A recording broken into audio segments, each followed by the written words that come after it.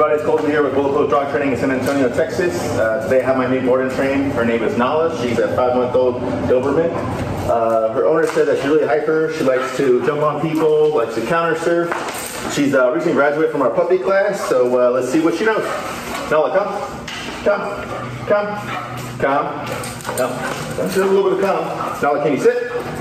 Sit. No, she can sit. Okay. Nala, hey, Nala, come. Nala, can you sit? Sit. Can you down? Sit. Down. You down?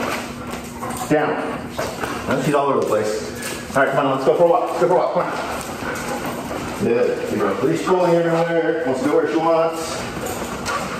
Yep, yep. They want to stay next to me. All right, so she's pretty crazy, pretty hyper, but uh, don't worry, we'll get her fixed up for the next 15 days. So keep track of her progress, all the pups we have here, and uh, uh, Bulletproof Dog Training in San Antonio, Texas.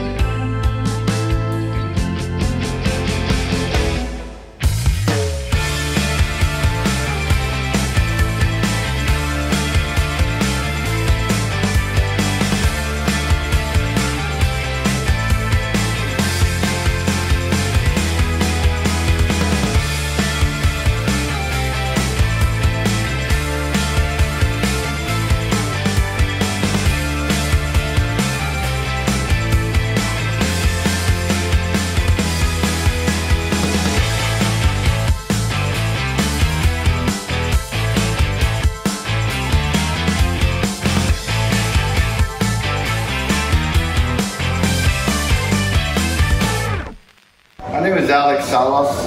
This is my dog Nala. When I first got her, she was a little out of control, and I started looking into what could I do for her. And I went through different companies that train dogs, and I found Bulletproof. Bulletproof was highly recommended from other people, and I really thought it was a good place for her to come and, and get her uh, trained. I got her at two months. I called them and asked them what I need to do. They told me, well, you're gonna have to come and uh, uh, come see what's going on here. And I came, and I really liked her, but she was too young to get here. So I think she has really improved a lot on what they trained her. She's really more calm, and I'm really excited to have her here. And I highly recommend people to visit Bulletproof.